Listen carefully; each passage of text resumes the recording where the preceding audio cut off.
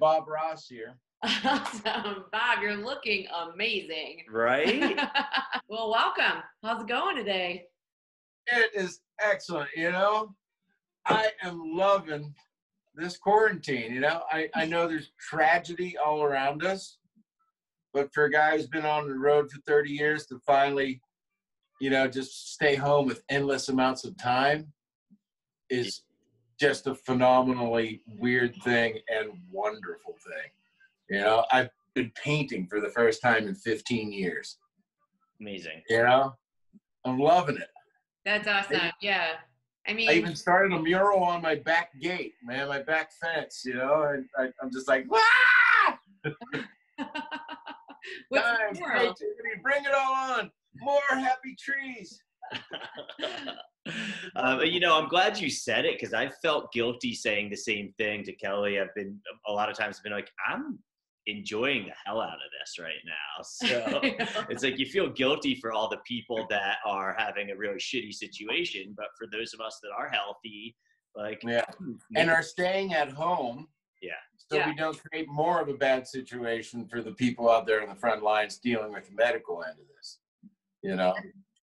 No, that's Yeah. just what I was saying today. I'm like, yeah, I miss the heck out of all of you. I can't wait to go see live music and I can't wait to dance and to hug everyone. But when I hear stories about my friends that can't fly home to visit their parents that are sick, or you see the picture of the people standing outside of the windows looking at their parents in a nursing home and they can't go in, I'm just going to stay Yeah. fuck home right now. And there's a lot of fun to be had here at home, you know? there is. You know? It, it cost me uh i think about you know, 150 bucks to uh go get a couple canvases and enough acrylic paints and brushes to get at it again man. And i've just been having endless fun. Fantastic. So uh, have you been sitting outside to, to do this? Is this, you know, you, are you out in a field somewhere painting this? no this is this is my indoor one.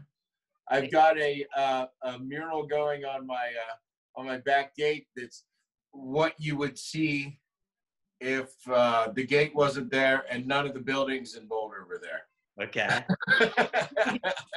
I see the, the the background of the mountains, you know, just abo- just above my fence, and so I I made the mural. So if you're sitting in in this one specific chair I like to sit in, the background where there's a hole in the fence, the hill lines up with the mural. Oh. You know, so Oh, nice. you know, It- I just figure, you know, if if I can't have a big old farm to live on, and since I moved to the cut to town, I'm just going to paint one. well, well, I'm curious about is this done from memory then, or did you take a photograph and you're painting from that, or is just No, this is uh yeah, memory. I I've lived in Boulder a long time. I've seen these Flatirons. I don't think I got them. I actually drove up to Chautauqua the other day to take a look at them. I didn't get them anywhere close to the shape. but you know, the painting is certainly nowhere near done. So, I knew exactly what it was. right? well, that's good. Yeah, I think you crushed it. Right. Well, I mean, whether or not I could actually pick out the Flatirons out of a lineup and be like, tell you which Yeah. one. was that was the guy. Yeah. We used to complain all the time, like when when the Tetons would want to get on the guest list when we were playing up in Jackson Hole.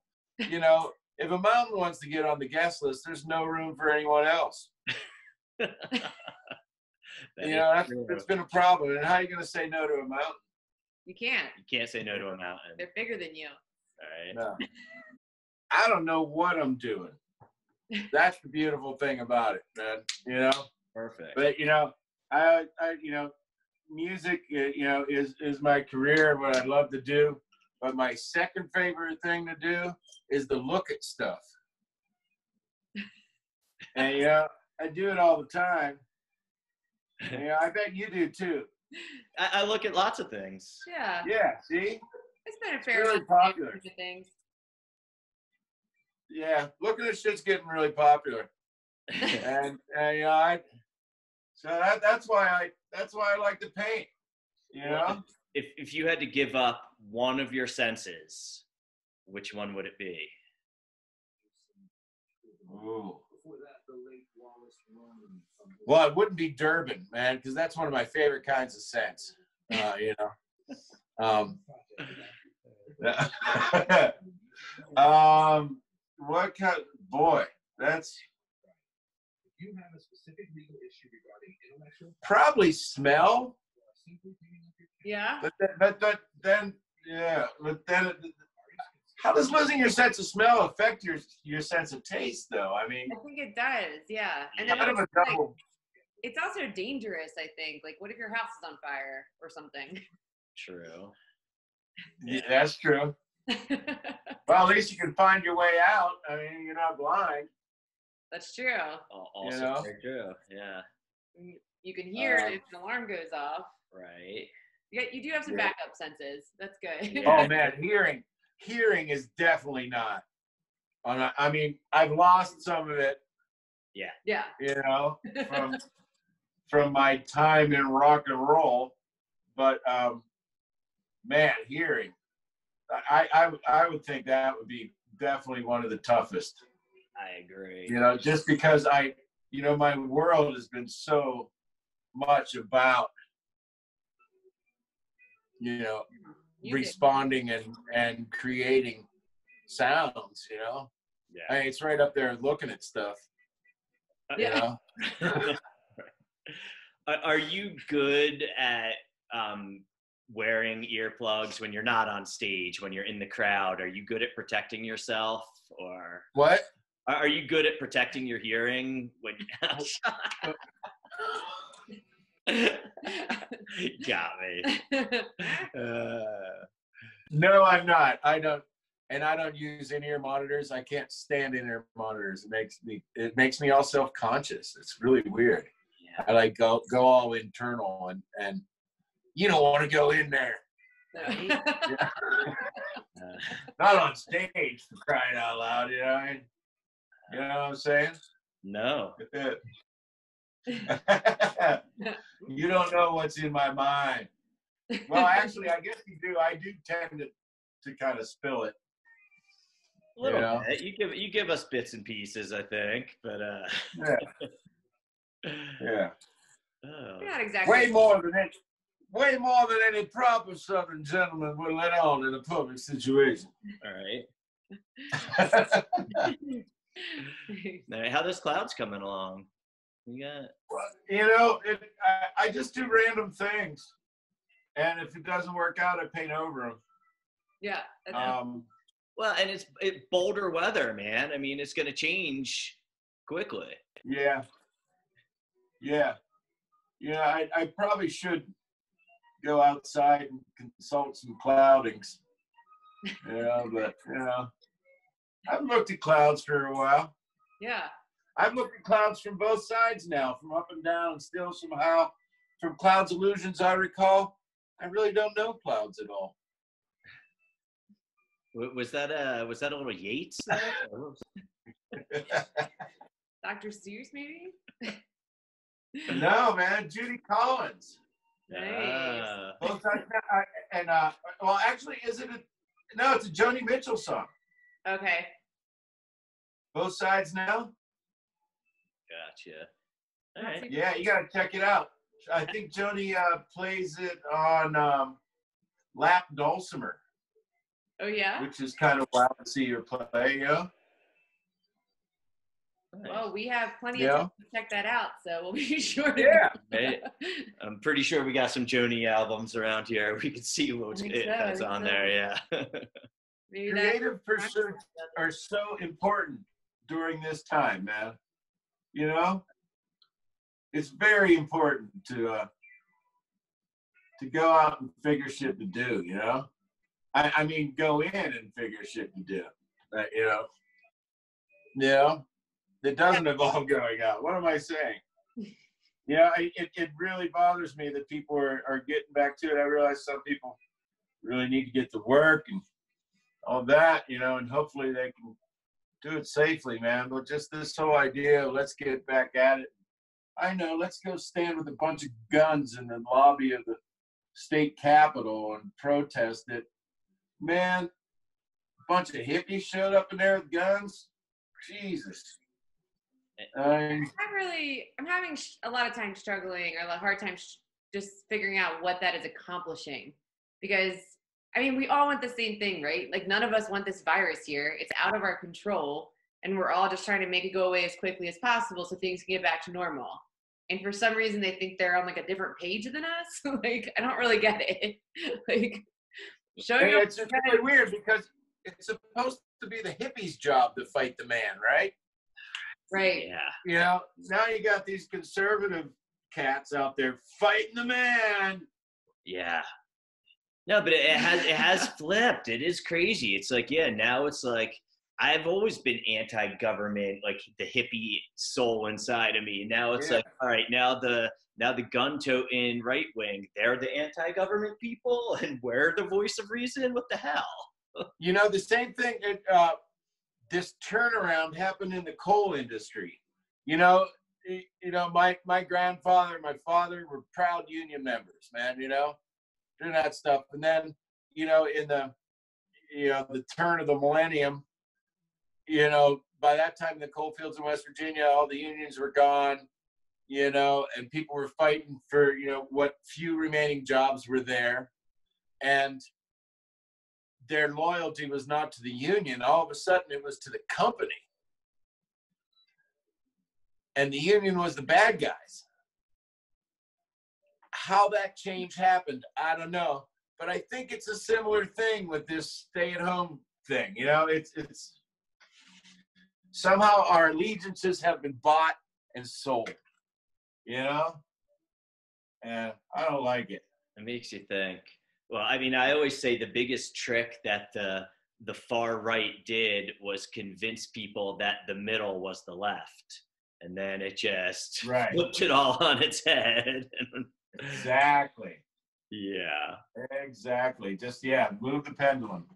right. Yeah. Whether it's a lie, whether it's absolute bullshit, just keep the pendulum moving. And and it's the same thing, you know?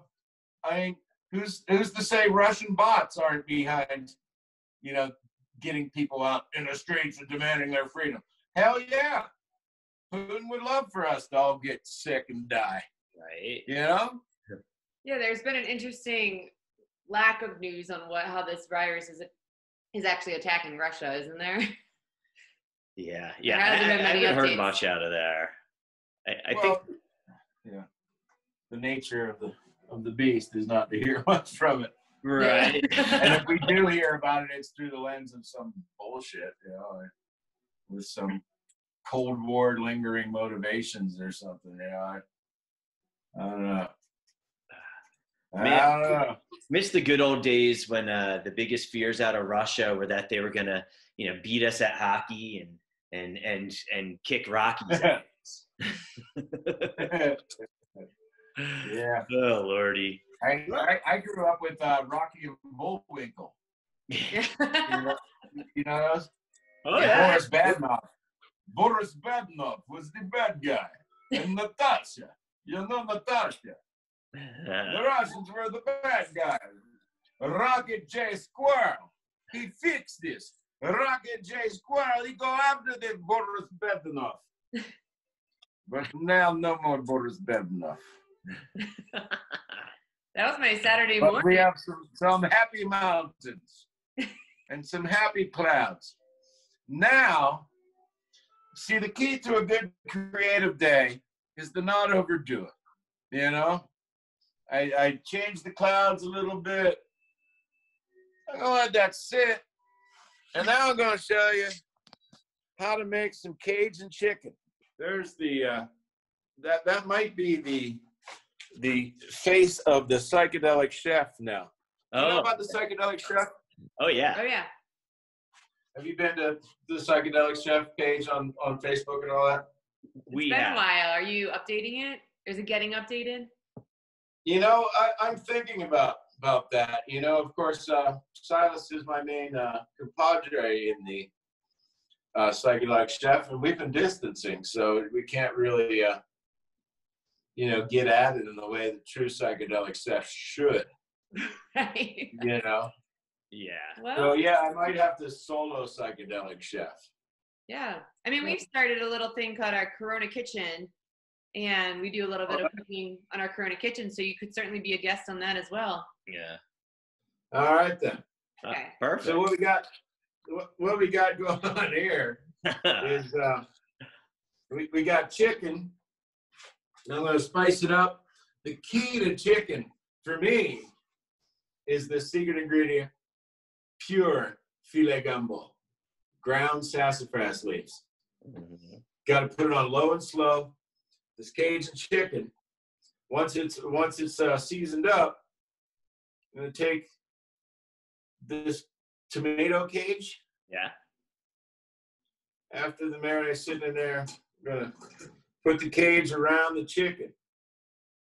This makes it Cajun chicken.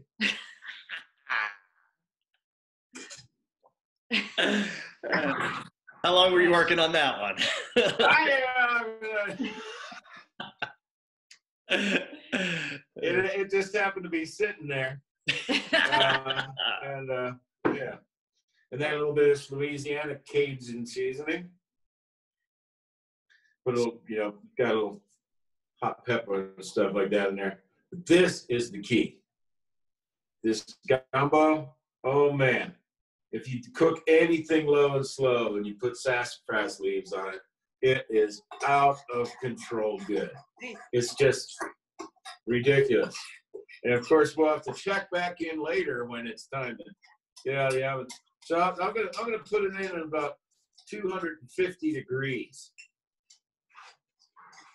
So you get this, you get this paste here, this oily, herbal, like just mm, Yeah. goodness, man. Just coat this bad boy it. Where'd you get your chicken? Uh, this is the Whole Foods chicken. Uh, I braved the Whole Foods the other day. I, uh, being you know, being a prematurely gray uh, guy, uh, I was able to go early in the morning with the old people Nice. before the place got too crowded. How was Yeah. that? I did my early morning shopping. You know, I've, I've been, I've been, I was in the house for five weeks before I went out and did any shopping or anything. Um, and, and then, then Silas did a, did a, a, shopping run for me. I'm really happy I know how to cook because, you know, I, you know, I, I, I can buy like big ass cuts of meat and, you know, roast them up and do all that stuff and bag them up and freeze them. And, and, you know, so I've been, I've been making like, you know, kind of like big meals, freezing them up, thawing them out, you know, and, and you know, using things before it, it, it, they rot, you know, which is something I think we need to get at because we're going to be doing this for another year, folks. Yeah. I think Hate so, to tell too. you. It's We've going to be a long time. Oh yeah. Yeah. Before musicians, anyways, can get back to it, you know. What, what, do, you I- I- think, other what do you think? other music festivals- occupations, other occupations are going to be all right getting back to work, but but not us, No. you know. I, yeah, I, I, I'm afraid you might be right. We were. What, what do you think? What do you think music music festivals are going to look like when we get back to them? Like, Um, you know, uh, they're what they're not going to happen, or I I think shouldn't happen until we have the five minute test everywhere. Yeah. You know, and you go into the festival, you get test. Yeah. You know, you're going over to see friends. You're gonna have a party at a friend's house. Everybody test before they come in the door.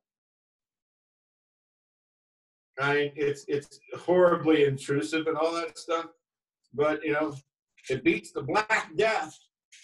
yeah. You know, I mean, I mean, you know, we, we got we're gonna have to change our worlds, man. We've seen some uh, some other countries. They've had some festivals uh, or some concerts where everybody's show, been in their cars, like a drive-in movie.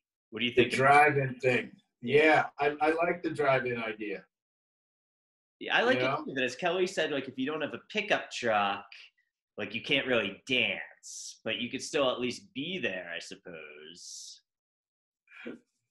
Yeah, yeah. That, another reason to buy one of them sprinters. Heck yeah. Well, Yeah. This is chicken. Seems like a. How's that going? Oh, you're good. There you go. Is that just a close-up shot? How many pounds is Yeah, that? Bird? that- just get a close-up shot. good. And uh, unfortunately, I guess that that- that I'm finding out that as you turn it over, it all sticks to the pan. So I'm just gonna put that on there and uh, put the Cajun Cajun. We got some good Cajun seasoning in there. Regular Paul Yeah, there you Prudhomme go. over here.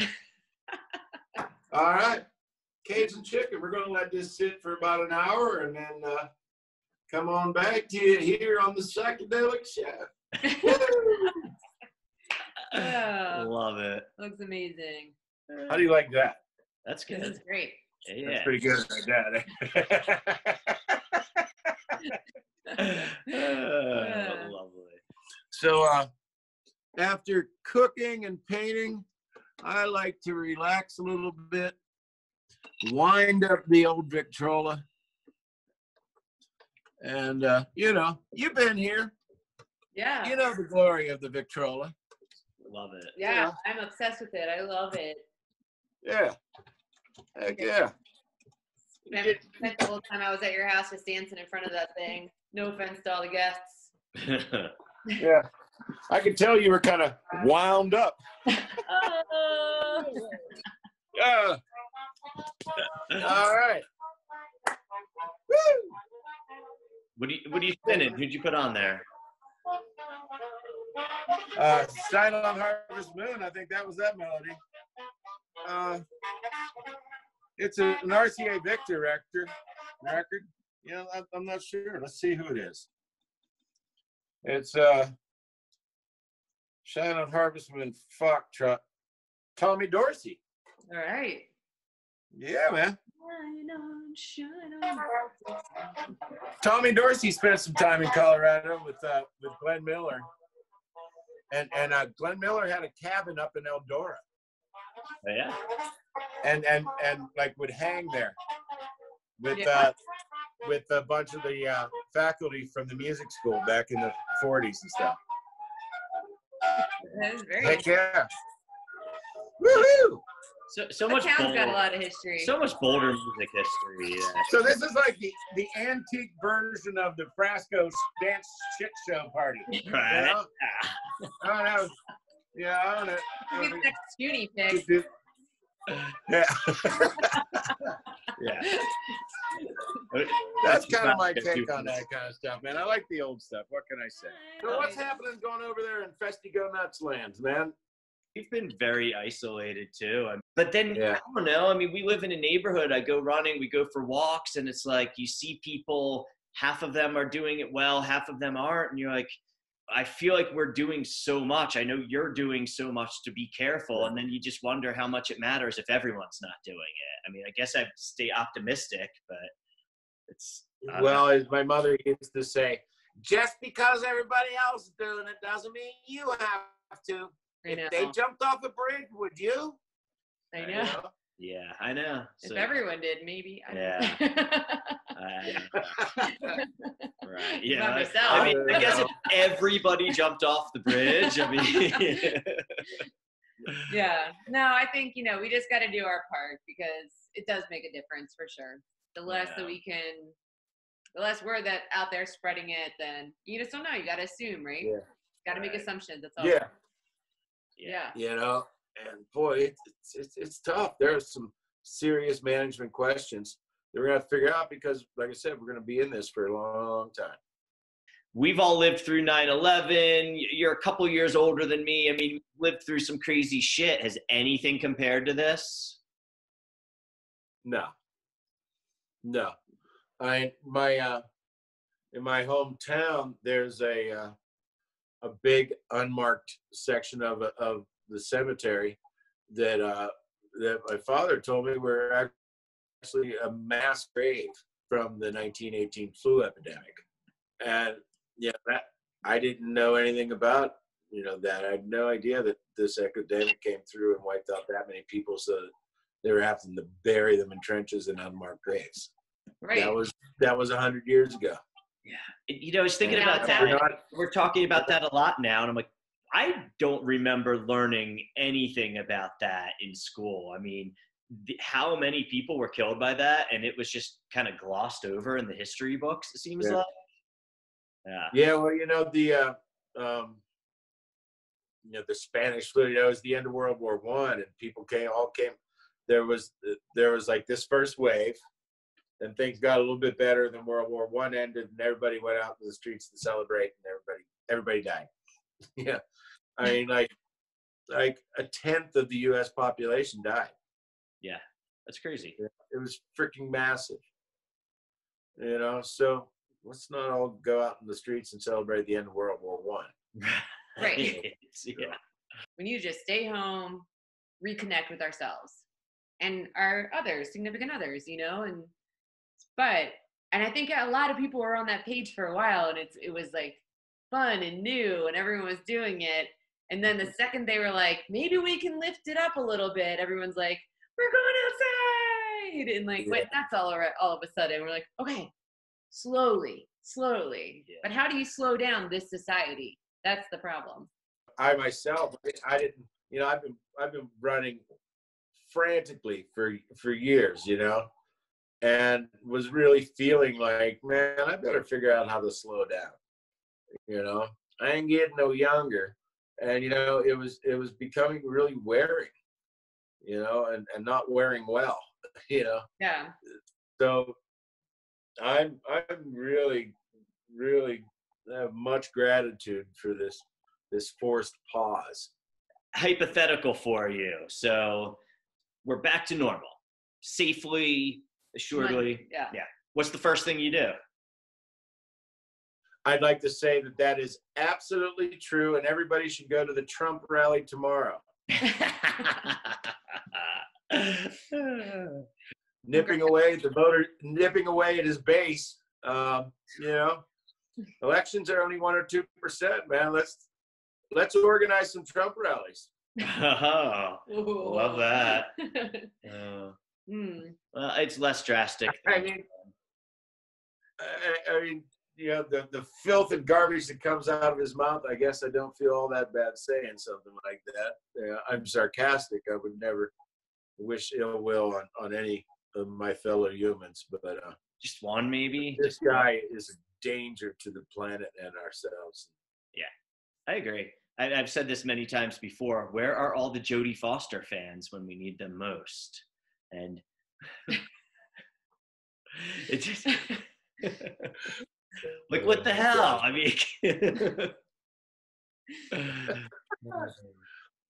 Yeah, you know, um, I just I just hope that, that we can educate ourselves uh, to uh, better possibilities. You know, I was born in in 1962, and you know, I, I guess I'm a child of the uh, you know the golden days of Kennedy and you know the Great Society and all those sort of things. You know, and I don't know that it's possible for anybody to get into office and do anything great. Get anything done. Yeah. Not until like Yes, it is.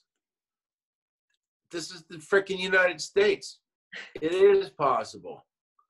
I ain't giving up. Hell no. I'm getting this asshole out of office.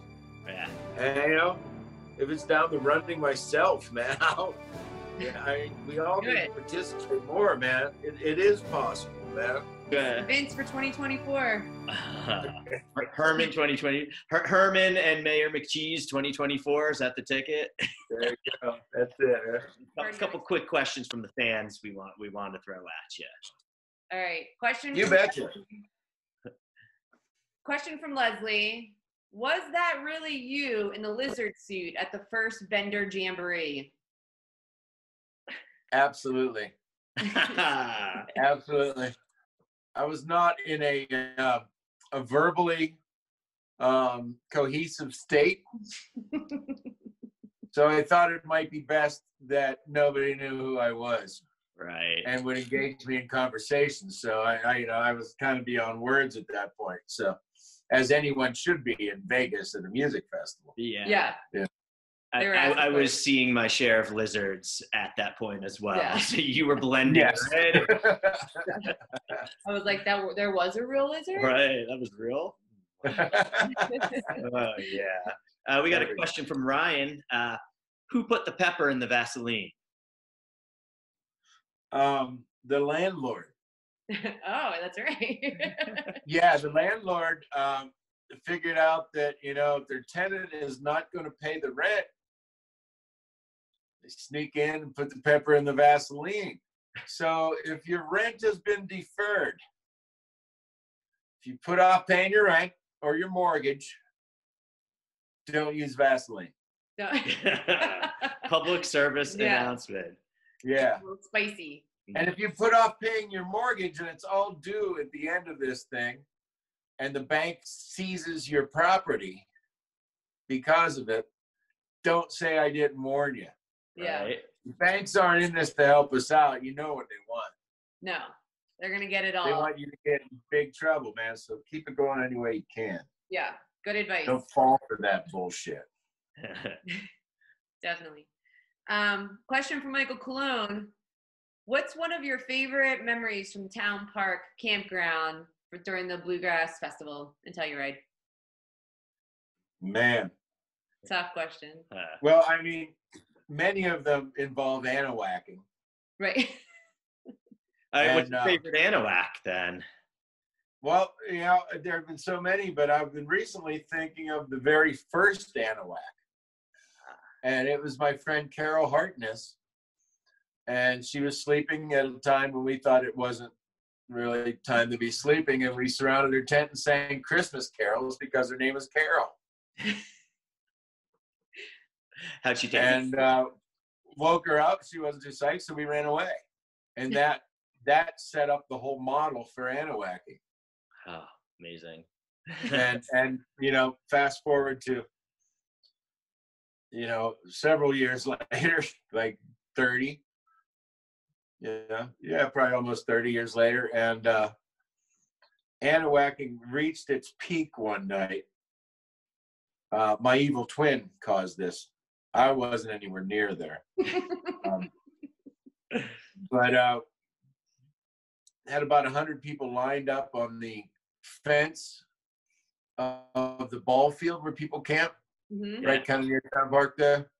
We all very quietly went in, snuck in through the, you know, the batter's entrance there and went to the back of the thing, lined up, and on the given signal, we went across the whole field, not only anawacking, yelling and all that stuff, but occasionally collapsing tents. oh no. you made some friends that evening. Well, his twin did. Oh yeah, your twin made some friends that. Yeah, You yeah, Yeah. yeah. yeah. No, yeah, I mean, there there have been so many great. I mean, it's I couldn't even begin. You know, the the the early morning trips up the Bear Creek. You know that there was one where uh, we went up there in, in the morning after picking all night Saturday night. Mark Vann, the first time we were we had met him in Telluride, we walked up to the waterfall, like about eight miles up behind the back of the campground there, and uh, you know, just sitting there just around sunrise and and the the sun's across the valley, you know, behind the mountain over there, just about to rise up, you know, back here. And uh, we're sitting over here. And, you know, you can feel the sun just coming up. And we finally stop laughing and it gets quiet for a minute. We're all waiting for that sun to come over. And Mark says, down in front to the mountain across the valley. And that's when we decided that When Mark had to move to Colorado. Yeah. That's classic. Absolute classic. awesome. Uh, Okay. Thank you, folks. This is Vince Herman. It's Festy GoNuts, man. I'm going nuts putting on some happy trees in here, man. And you should too. Have fun and go nuts. Love it. Vince, where can everyone watch you this week? If you are you going to be live on Facebook? Yes, indeed. Six o'clock Mountain Time on Tuesdays. I go live on Live from the Living Room Lounge and also on my Facebook page. Um, yeah, it might be on Instagram. I'm not sure. okay. But uh, Yeah. check that out every Tuesday, six o'clock Mountain Time. all right. Perfect. Yeah, and, and uh, people can maybe look forward for some psychedelic chef stuff coming out, some other Yeah. Freakiness. As long as I don't get confused and start painting the chicken. Okay. That's all psychedelic, right. Man. the chicken, just don't eat it. It's psychedelic. Uh, well, man, thank you, Vinny. This has been awesome. Really appreciate Yeah. you catching up with us. Um, You Yeah. bet. We've enjoyed chatting with you and hope we can do it again soon.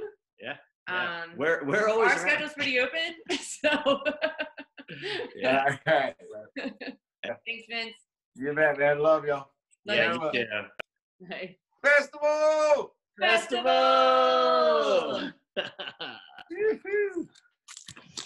See y'all.